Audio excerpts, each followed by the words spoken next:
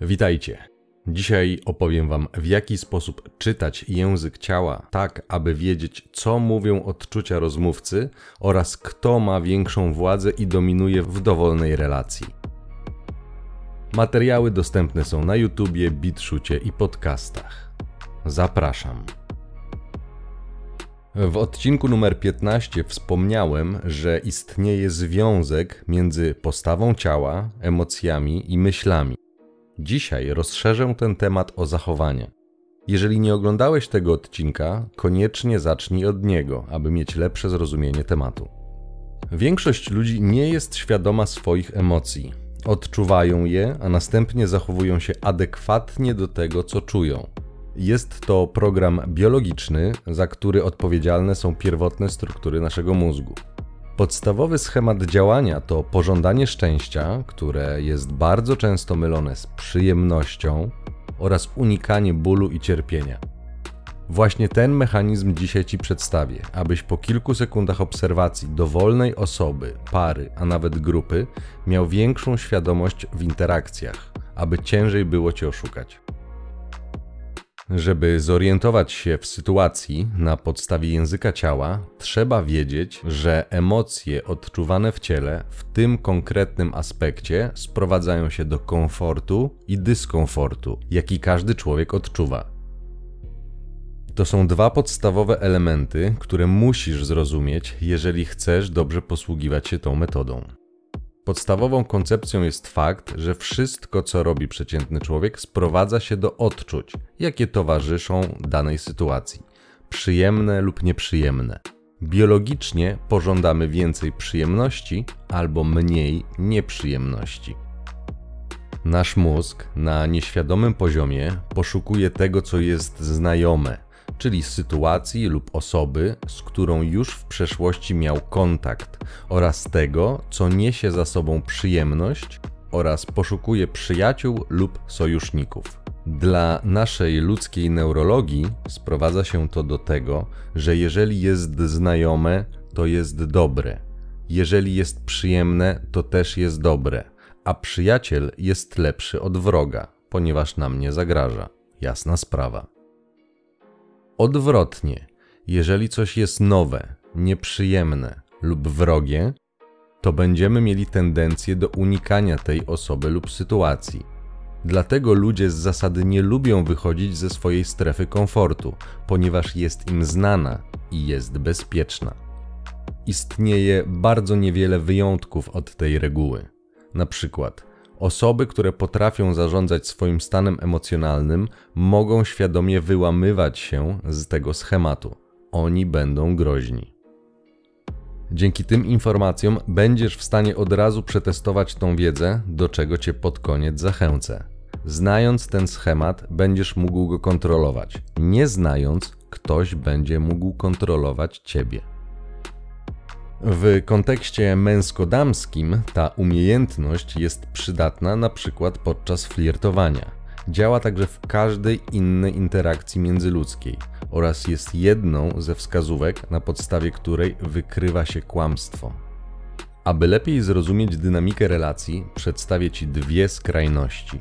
Po jednej stronie spektrum jest sytuacja, w której tych dwóch modeli Wyobraź sobie, że są to normalne, żywe osoby w kontekście języka ciała, dzieli duża odległość oraz przeciwne kierunki, w jakich są skierowane.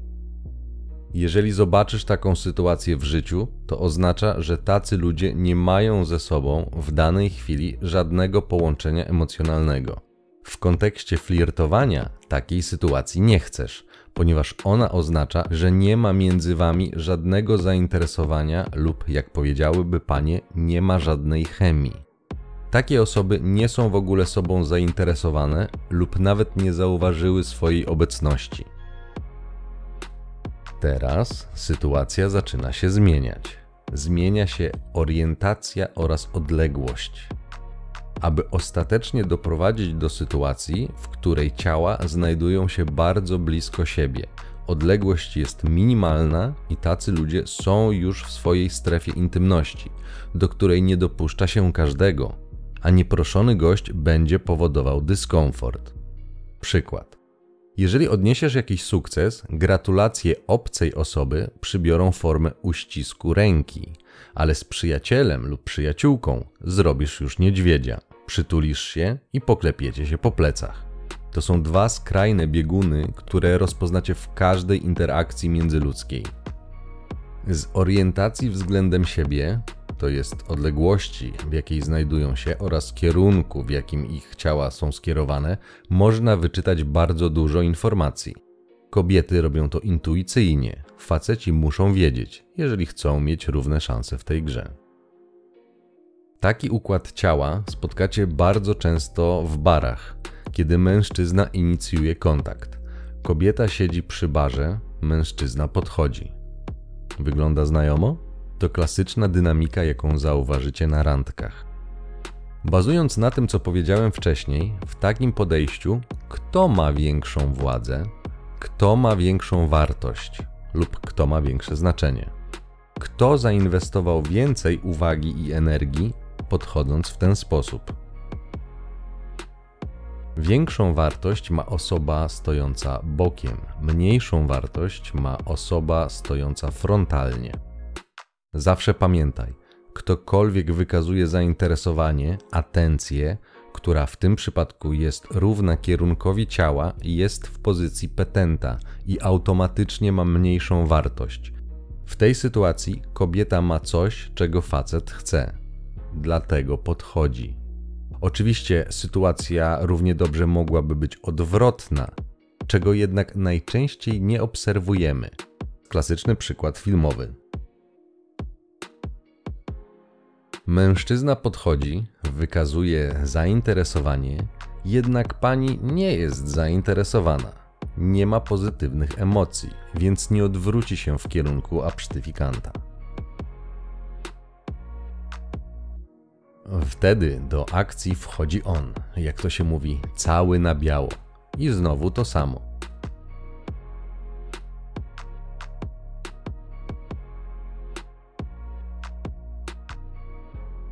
Ciało skierowane frontalnie do kobiety i zaczyna się schemat. Zagaduje, otrzymuje kilka shit testów, które zbywa szarmancko demonstrując wyższość, po czym pani zaczyna inwestować swoją atencję również w pana. No i bingo, mamy to. Tak wygląda język ciała w praktyce. Link do tej sceny umieszczę w opisie. Zobaczcie sami. Przykład z życia jest taki, że jeżeli podchodzi do ciebie wolontariusz z prośbą o wsparcie dla jego fundacji, to ty masz coś, czego on chce, w tym przypadku darowiznę, datek. Odwrotna sytuacja zdarza się zdecydowanie rzadziej. To dokładnie ten sam mechanizm. On musi podejść do ciebie, a nie odwrotnie, ponieważ chce czegoś od ciebie. Kobiety to wiedzą, ponieważ są inaczej ukształtowane w kontekście subtelnych wskazówek komunikacji, aby móc sprawniej komunikować się z grupą na poziomie werbalnym i niewerbalnym. Kiedy zapytacie praktycznie dowolną kobietę, co oznacza jakieś zachowanie, w zasadzie od razu powie wam, co ono znaczyło, podczas gdy facet pozostaje w mroku nieświadomości. Dlatego musicie wiedzieć. Czytanie języka ciała na podstawowym poziomie będzie bezbłędne w nie mniej niż 90% przypadków. Mogliście spotkać się z informacjami, aby patrzeć na twarz i szukać tam oznak emocji, czyli różnej mimiki. I jeżeli ktoś nie stara się maskować swoich emocji, to dobra wskazówka i będzie działała. Ale jeżeli traficie na kogoś, kto będzie chciał ukrywać swoje zamiary, twarz jest najmniej przydatną w tym kontekście częścią ciała, ponieważ uczymy się kontrolować mimikę jako pierwszą. Wystarczy się uśmiechnąć, aby zmylić większość ludzi odnośnie swojego nastroju. Znacie na pewno te wymuszone, kurtuazyjne uśmiechy. Usta składają się jakby do uśmiechu, ale czujecie, że coś jest nie tak, że to nie do końca szczere, a bardziej wymuszone. To nie jest przypadek, że to czujecie. Coś rzeczywiście nie jest tak. Wasze odczucia nie kłamią. Szczery jak uśmiech sprzedawcy w McDonaldzie. Po sztucznych uśmiechach zazwyczaj przychodzi płacz.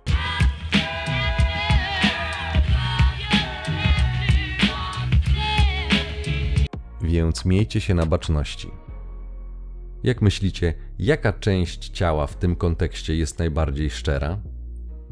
Stopy. Praktycznie nikt nie kontroluje kierunku, w jakim ma ustawione stopy. Zwróćcie uwagę, jeżeli ktoś będzie się śpieszył i już chciał wyjść, jego stopy najczęściej będą skierowane w kierunku wyjścia. Nie robi tego świadomie, ale robi. A teraz jeszcze kilka niehollywoodzkich przykładów pokazujących, jak ten element wygląda w praktyce. Pierwszy. Dziennikarz na ściance w Los Angeles ma obok siebie dwie atrakcyjnie wyglądające kobiety z dekoltami do pępka. Zwróć uwagę, jak odwraca się do pierwszej z nich, a jak do drugiej. Link do całego filmu umieszczę w opisie. Do jednej z nich na początku odwraca się, kieruje prawie że frontalnie, ale tylko na początku. Później już wyraźnie mniej. Nie martwcie się, jeżeli na początku tego nie zauważycie. Dołączę pomocnicze linie. Do drugiej pani, tej po lewej, odwraca się już maksymalnie, w zasadzie ignorując dziewczynę po prawej. Stoi do niej plecami. Z tej prostej sceny można już wywnioskować, która kobieta wywołuje u tego mężczyzny większą przyjemność i jest to działanie podświadome. Zwróć też uwagę, że ciemnoskórą dziewczynę przyciąga do siebie prawą ręką pod koniec sceny. To nie jest przypadek. Zwróć też uwagę, jak za pierwszym razem pani po prawej stronie reaguje, gdy dziennikarz odwrócił się do niej plecami. Od razu straciła zainteresowanie i zaczęła skanować otoczenie, bo wie, co oznacza, jeżeli ktoś odwraca się do niej plecami.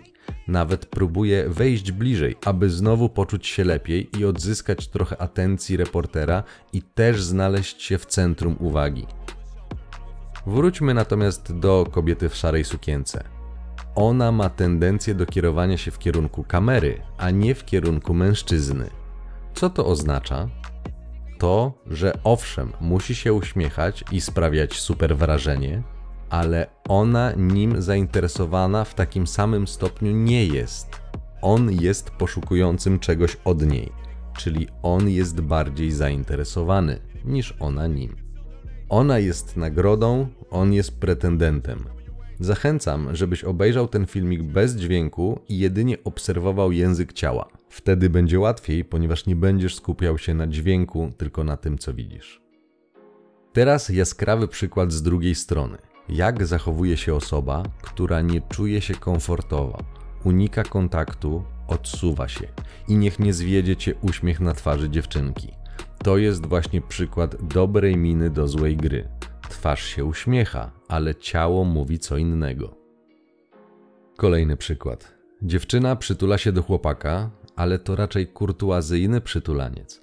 Być może nie chce go rozczarować lub urazić, ale on jeszcze nie generuje w niej na tyle przyjemnych odczuć, aby chciała się z nim przytulić w pełni. Zwróć uwagę na tę odległość.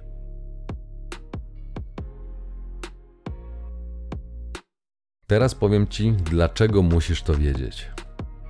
Otóż musisz to wiedzieć, ponieważ o ile nie trafisz na wytrawnego gracza, który kontroluje swoje ciało i potrafi działać pomimo negatywnych odczuć, a w przypadku kobiet to zdarza się bardzo, bardzo rzadko, to język ciała będzie Twoim sprzymierzeńcem, ponieważ jest bardzo szczery i poinformuje Cię, gdzie jesteś w danym momencie w hierarchii danej kobiety. Czyli czy jest w tobie zadłużona i czy generujesz w niej przyjemne odczucia.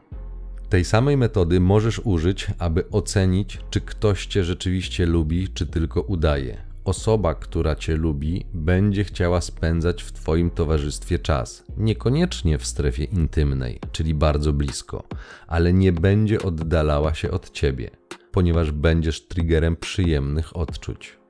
Jeżeli mam sytuację, gdy ktoś prawi mi komplementy, ale nie ma go obok mnie, to zawsze patrzę na czyny, a nie słowa, czyli odległość, w jakiej znajduje się ode mnie. Jeżeli na co dzień nie ma go blisko, a zbliża się tylko, gdy czegoś potrzebuje, to możesz z tego zachowania dużo wywnioskować o prawdziwym stosunku do ciebie. Teraz zaproponuję ci test. W wolnej chwili odpal Facebooka albo Instagrama. Prawdopodobnie znasz jakąś osobę, która wrzuca swoje zdjęcia wraz z chłopakiem lub dziewczyną. Jeżeli na dodatek będzie to para, o której wiesz, jak naprawdę wyglądają ich relacje, a nie tylko to, co chcą pokazać światu, a najczęściej chwalimy się tylko dobrymi rzeczami, to będziesz miał ułatwione zadanie. Przejrzyj ich zdjęcia, a ja powiem ci, co tam zobaczysz. Zwróć uwagę, jak na wspólnych zdjęciach te osoby są ustawione względem siebie. Kto jest ustawiony w kierunku partnera, a kto w kierunku aparatu. Zwróć też uwagę, czy z biegiem czasu, z biegiem tej relacji, zdjęcia są nadal tak intymne, to znaczy, czy nadal są tak wtuleni w siebie jak na początku, czy może odległość już trochę wzrosła. Jeżeli na większości zdjęć to facet jest wtulony w kobietę i to on jest skierowany w jej kierunku, to oznacza, że on więcej inwestuje w relacje, czyli ona jest nagrodą. A co za tym idzie, to ona ma większą władzę. To może być i często jest zły znak, ponieważ kobieta dzięki swoim testom wcześniej czy później, z reguły wcześniej, zorientuje się, kto jest silniejszy i kto ma większą władzę w takiej relacji. Z odcinka o hipergami wiesz, co najczęściej stanie się, kiedy to kobieta poczuje, że ma władzę. Może gdzieś masz swoje zdjęcia z dziewczyną lub jakąś ex. Jeżeli ich nie usunąłeś, przeanalizuj je pod tym kątem: odległość i orientacja oraz czy i jak zmieniało się to w czasie. Na początku znajomości blisko, a z czasem coraz dalej. Ten schemat wygląda tak, że na samym początku najczęściej dziewczyna będzie wtulona w chłopaka. Z czasem orientacja będzie się zmieniała, a odległość zwiększała, aż do rozpadu relacji. Mężczyźni, którzy są w swoich związkach dominujący i nie dali się wykastrować, na zdjęciach w przytłaczającej większości będą obejmowani przez dziewczynę. Oczywiście często oni też będą obejmowali partnerkę, ale to ona częściej będzie lgnęła do niego. To widać na zdjęciach. Musisz tylko wiedzieć na co patrzeć i jak czytać język ciała. Jeżeli zdjęcie robione jest przez profesjonalnego fotografa na sesji, to najczęściej on ustawi ich tak, żeby pokazać większą bliskość. To jego zadanie. Więc pozycja nie będzie naturalna, co zakłóci odczyt tej techniki, ale jeżeli sweet focia robiona jest samodzielnie, wspólne selfie z ręki, to już mało kto zwraca na to uwagę, bo po prostu nie wie gdzie patrzeć. Widziałem zdjęcia par, które wspólnie uśmiechały się od ucha do ucha, ale dzieliło ich minimum pół metra i oboje zwróceni byli w tym samym kierunku, a nie w kierunku siebie. 80% z tych par już nie istnieje, a zdjęcia zostały poukrywane. Klasyka, dlatego musisz wiedzieć. Bardzo dobrym przykładem będą również zdjęcia par lub małżeństw, gdzie urodziło się dziecko. Często na zdjęciach publikowanych w social mediach miejsce pary zajmie albo matka z dzieckiem, albo samo dziecko.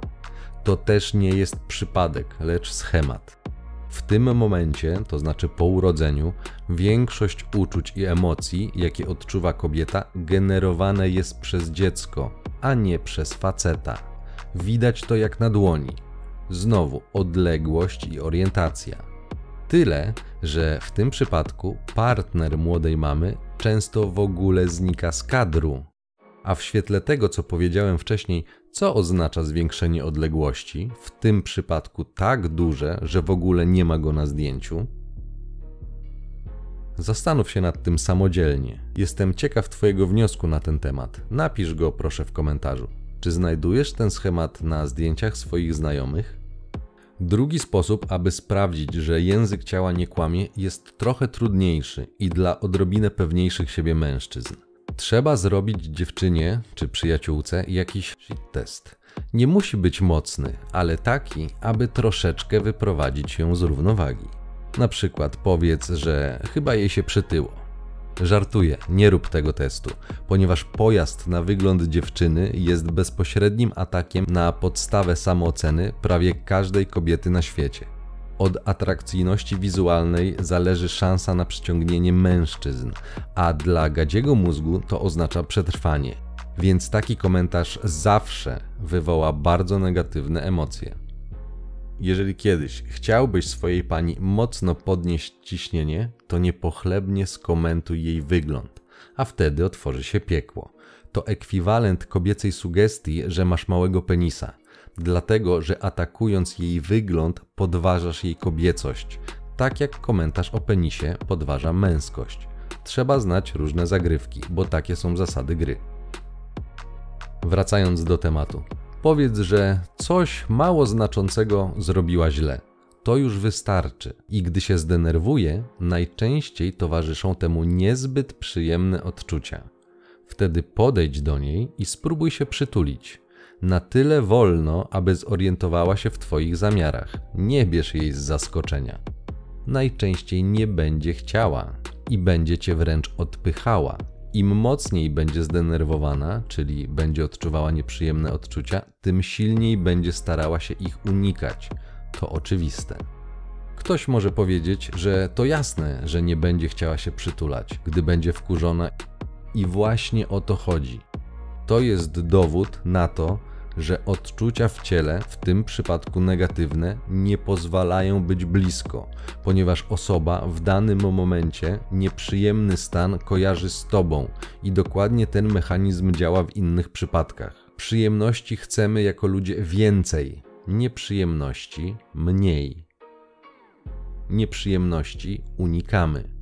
Dlatego język ciała jest tak bardzo dobrym wykrywaczem zaangażowania, gdyż mało ludzi jest tego w ogóle świadoma, więc tym bardziej nie może tego kontrolować, a to powoduje, że to jest szczere. Patrząc w ten sposób na pary, czy nawet na większe grupy ludzi, na przykład na imprezie, będziesz mógł zorientować, kto jest nagrodą, a kto jest szukającym uznania i akceptacji. Na przykład, na każdej domówce zazwyczaj tworzą się grupki. Przyjrzyj się, kto cały czas mówi, a kto słucha. Gdy zidentyfikujesz takie osoby, będziesz wiedział, kto dominuje w takiej grupie, czyli kto narzucił swoją ramę z reguły osoby dominujące mają tendencję do zajmowania centralnej pozycji, tak aby wszyscy w grupie ich słuchali, aby oni byli w centrum uwagi, a reszta się podporządkowuje lub muszą odejść. Kobiety taką analizę otoczenia wykonują podświadomie, ponieważ ich mózgi są przystosowane do lepszego odczytywania niewerbalnych wskazówek mowy ciała mają w tym naturalną łatwość, a przez to przewagę. Ta wiedza pozwoli ci zrozumieć ten mechanizm i wyrównać szanse. Pamiętam sytuację, gdy byłem na treningu. W odległości około 8 metrów zauważyłem dziewczynę, dwudziestokilkulatkę, która zagadywała trenera. Z głośników dobiegała muzyka, więc nie słyszałem ani słowa z tej rozmowy, ale język ciała dokładnie pokazywał, kto był nagrodą, a kto był pretendentem do nagrody, kto inwestował więcej w tą rozmowę, komu bardziej zależało. I bynajmniej nie chodziło o to, aby trener poprawił jej technikę ćwiczeń. O nie. Dziewczyna stała frontalnie do trenera, a ten do niej bokiem. Ona była zainteresowana nim dużo bardziej niż on nią. Jej ciało aż krzyczało z radości. Gdy nauczysz się rozpoznawać ten schemat, będziesz wiedział, kiedy dziewczyna jest zainteresowana tobą naprawdę, a kiedy tylko udaje lub racjonalizuje. Obserwując swoją partnerkę, dziewczynę lub żonę, w ten sposób będziesz wiedział, jakie ma odczucia w stosunku do ciebie. Poznasz, gdy coś niedobrego zacznie się dziać z Twoją relacją, na przykład kiedy pojawi się ktoś nowy lub kiedy wybranka straci Tobą zainteresowanie co zazwyczaj jest oznaką, że niedługo pojawi się ktoś nowy. A od kobiety usłyszysz wtedy jakże klasyczne: Nie wiem, co czuję. Odczucia w stosunku do ciebie nie pozwolą jej na bardzo bliskie przebywanie obok ciebie, ponieważ nie będzie już odczuwała takiej przyjemności jak kiedyś. Brak przyjemności to nieprzyjemność. W takiej sytuacji możesz nawet odczuć odrazę lub wrogość, to nie jest przypadek, to ten sam schemat. Dokładnie ten sam mechanizm działa w małżeństwach, w których zapanowała sypialniana posłucha. Ty chcesz zbliżenia, kobieta już nie. Dlatego, że nie odczuwa takiej przyjemności jak kiedyś. Jej słowa najczęściej będą tylko racjonalizacją. Jest zmęczona, nie ma ochoty, boli ją głowa i tak dalej, i tak dalej. Czyny, a nie słowa. Kobieta najczęściej naprawdę nie wie, co się dzieje. Nie jest tego świadoma. Nie odczuwa już tego, co kiedyś. Nie ma pożądania, więc musi to sobie jakoś zracjonalizować. Musisz wiedzieć, jak działa ten schemat, bo dla ciebie to system wczesnego ostrzegania przed problemami. Działa to tak samo jak kobieca intuicja. Informuje o niewypowiedzianych odczuciach i emocjach, które widać, ponieważ muszą znaleźć odzwierciedlenie w zachowaniu. To jest klasyczny przykład czyny, a nie słowa. Tyle, że czyny nieświadome, ale nie ma tam przypadku. Jest schemat, bo tak działa ludzka neurologia. Jeżeli kobieta mówi, że cię kocha, ale nie chce przebywać blisko ciebie i nie chce cię wpuścić do swojej intymnej strefy, to nie odczuwa przyjemności z tego, bo gdyby odczuwała, sama wskoczyłaby na ciebie. Kropka. Zwróć też uwagę, kiedy kobieta przytula się, często będzie od ciebie czegoś chciała, czegoś, co sprawi jej przyjemność, czegoś, co sprawi, że poczuje się lepiej.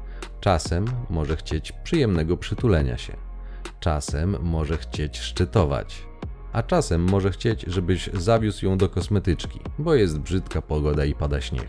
Możliwości jest mnóstwo może chcieć upewnić się, że nadal pozytywnie na nią reagujesz, czyli shit test. A gdy nie zareagujesz zgodnie ze schematem, pierwszą jej myślą będzie to, że ją zdradzasz i awantura gotowa.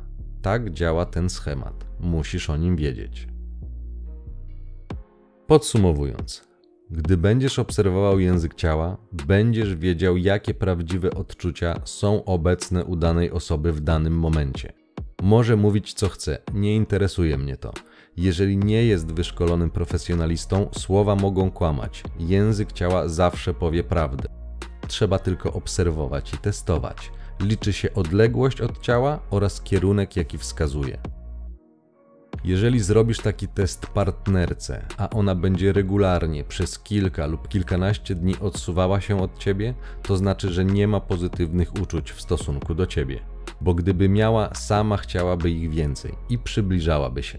Jest to wtedy znak ostrzegawczy, a ty już poznajesz zasady gry i możesz przewidzieć, co będzie działo się dalej. Jako trening możesz obserwować język ciała wszędzie. Dwie babcie plotkujące pod sklepem, ekspedientka i klient, znajoma para. Po kilku takich obserwacjach zaczniesz zauważać ten schemat, bo występuje on wszędzie to pozwoli ci być bardziej świadomym facetem, a przez to mniej podatnym na manipulacje. Dlatego musisz wiedzieć, jakie są zasady gry. Właśnie przedstawiłem ci kolejną z nich. Ciąg dalszy nastąpi.